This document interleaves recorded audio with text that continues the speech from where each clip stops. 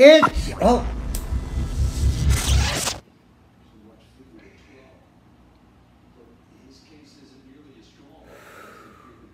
It's me, it's me, it's Rusty T. Yes, indeed. Mm. I was just out in Fredericksburg, got a little recharge here with this. Oh, it's so good. Okay, I have solved the pyramids. So uh, we'll have a little fun first. Here's a gyroscope. We're going to get this thing rolling, okay? Oh, first let me show you something with this gyroscope. It's This is a neodymium magnet. It's pretty strong. It's got 300 pounds pull. It's 3 inches by 1 inch. And this gyroscope is non-magnetic as you see.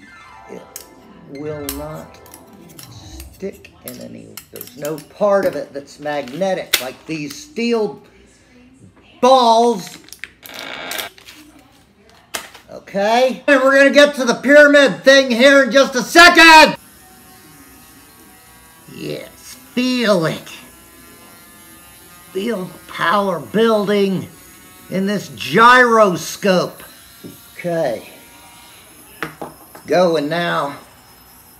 Okay, check this out. Here's the not, you know, has no attraction to the magnet, right? Right? What just happened? Hmm. It has no attraction to the magnet.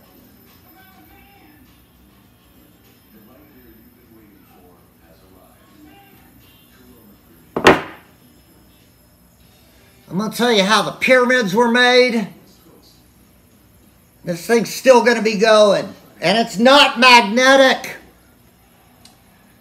All right? The pyramids were made by changing the dielectric incommensurability of each block so that it became a magnet. What do you... This is a very strong neodymium magnet. What do you think? What kind of metal's in there? It's ceramic. Okay.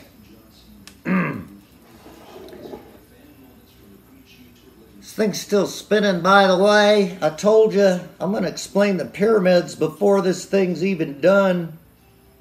This, and it's not magnetic, is it? This gyro. when your anti-gravity stuff starts coming out in a few years, you're going to start going, oh, I should have listened to Rusty T. But it was put together like magnets. Like you'd put them together on your refrigerator or whatever. When you get a bunch of those magnets and you start putting them together, well, if I took these BBs out of and stuck them on this magnet,